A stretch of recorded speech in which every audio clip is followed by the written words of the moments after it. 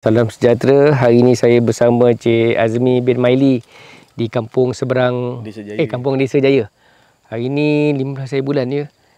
Ah, 15 hari bulan 1 2021.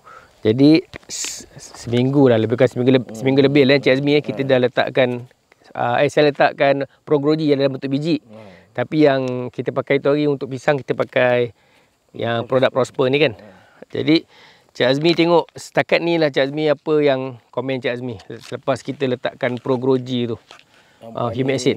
Perkembangan daun ni. Dia macam terbuka lepas tu macam dia lain lah. Hijau dia pun lain.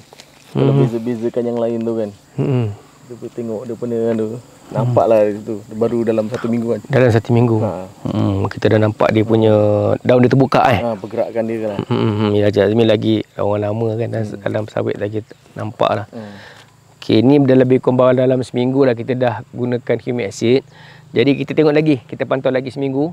Ni pokok berapa tahun ni eh? Dalam Eh, dalam sebulan sebulan lebih macam sebulan lebih eh? Hmm, Baik, okey. betul lah. Nah, sebulan lebih eh? Sebulan lah. Sebulan lah. Ha.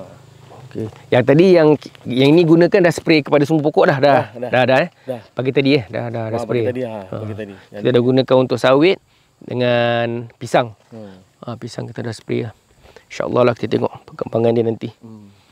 Hmm. Apa-apa pokok lah tadi. So, ada lebih kan. So. Semua sekali ya. Ha. Cik Azmi spray macam mana tadi?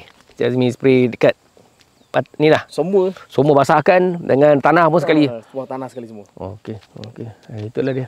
Okey. Assalamualaikum. Terima kasih.